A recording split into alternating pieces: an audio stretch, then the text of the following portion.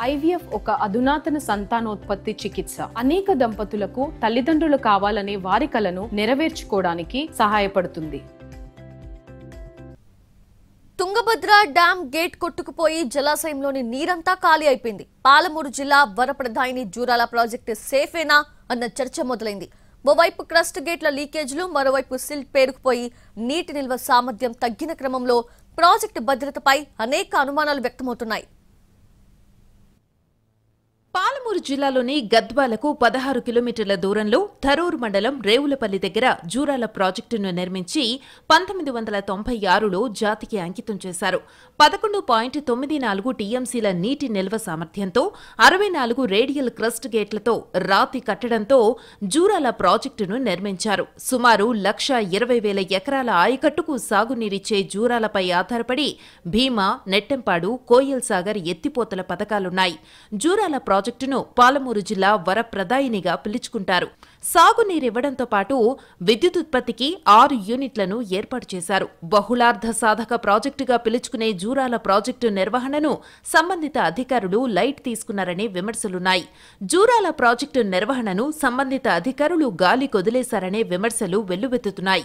ప్రతి వేసవిలో project crust గేట్ల మరమ్మతులు చేయాల్సి ఉన్నా పట్టించుకోకపోవడంతో క్రస్ట్ గేట్ల నుంచి నీరు లీక్ అవుతున్న పరిస్థితి. జూరాల ప్రాజెక్టు దగ్గర అరవై రెండు క్రస్ట్ గేట్లు ఉండగా దాదాపు పన్నెండు గేట్ల నుంచి నీరు లీక్ అవుతోంది. క్రస్ట్ గేట్లు తుప్పుపట్టి రంధ్రాలు పడడం గేట్ల రబ్బర్లు ఊడిపోవడంతో మూసివేత తరువాత కూడా నీరు దిగువకు లీక్ అవుతున్నట్టు తెలుస్తోంది. పూర్తి స్థాయిలో మరమ్మతులు చేయాలని నిపుణులు చెబుతున్నా ఆ దిశగా అడుగులు పడలేదు.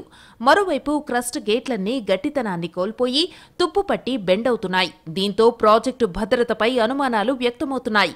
ఏ క్షణాన ఏ ప్రమాదం జరిగినా ఆయకట్టు రైతాంగంతో పాటు తాగునీటికి కూడా కష్టాలు తప్పేలా లేవు. అటు నిత్యమో వాహనాల రాకపోకలతో డ్యాం వైబ్రేట్ అవుతున్నట్టు గతంలో డ్యాం సేఫ్టీ అథారిటీ హెచ్చరించింది. అయినప్పటికీ వాహన రాకపోకలపై నియంత్రణ చర్యలు చేపట్టలేదు. ఆత్మకూరు గద్వాల రాకపోకలకు డ్యాం పైనుంచి కాకుండా ప్రాజెక్టు దిగువన బ్రిడ్జి నిర్మాణానికి ప్రతిపాదనలు సిద్ధమైనా అవి కార్యరూపం దాల్చలేదు. ఇక డ్యాంపై రోడ్డంతా గుంతలమయంగా మారి శిథిలావస్థకు చేరిన దుస్థితి నెలకొంది. పెద్ద ప్రాజెక్టులో పదకొండు గేట్లు నుంచి లీక్ లీక్ లీక్ అవుతుంటే ఎంత వృధా నీరు వెళ్తుంది? రైతు నీరు లేక చాలా కష్టాలు పడుతుంటాడు. అలాంటి కష్టాలు మరీ మరీ రాకూడదని ప్రభుత్వాన్ని కోరుచున్నాం. ఈ వాటర్ ఇంతకుముందు తొమ్మిది పది టీఎంసీలు అని అనేవాళ్ళు ఇప్పుడు ఏడున్నాయో ఆరు ఉన్నాయో తెలియదు ఈ విధంగా వెళ్తూ ఉంటే రైతాంగం ఇబ్బంది అయిపోతుంది.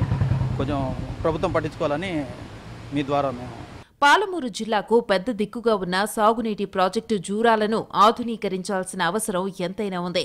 ఇక ప్రాజెక్టు భద్రతపై అనేక అనుమానాలు వ్యక్తమవుతూ ఉండగా క్రస్ట్ గేట్ల మరమ్మతులను యుద్ధ ప్రాతిపదికన పూర్తి చేయాలని పాలమూరు రైతాంగం కోరుతోంది.